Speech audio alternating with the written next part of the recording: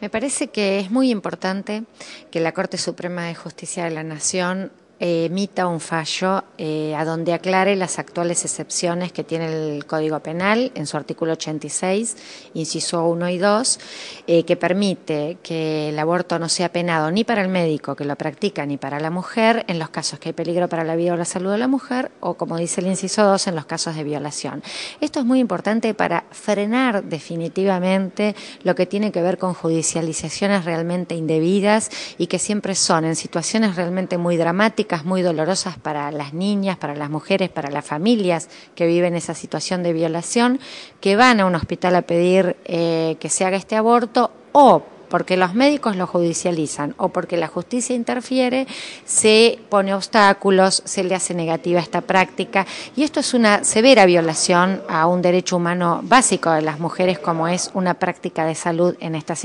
situaciones. Creo que esto, acompañado de la implementación completa de la guía técnica de la atención de abortos no punibles que emitió en el año 2007 y que renovó en el año 2010 el Ministerio de Salud de la Nación, son claves para que Argentina cumpla con una deuda que día a día vemos en distintas provincias del país con niñas, con mujeres que no se respeta este derecho a la salud. Nosotros sabemos que siempre la falta de respeto a los derechos de la salud de las mujeres y en el caso del acceso al aborto le pasa a las mujeres de los sectores populares, las mujeres que recurren al sistema público de salud. Sabemos que en privado, ya sea cuando hay excepciones causales de excepción o cuando hay incluso un aborto voluntario porque una mujer considera que no puede continuar el embarazo, si se tiene recursos económicos, esto pasa porque se accede en un circuito privado sin ningún problema, ni riesgo para su salud y su vida. Lo que me parece clave del paso, de un paso más que damos con, con este fallo de la Corte,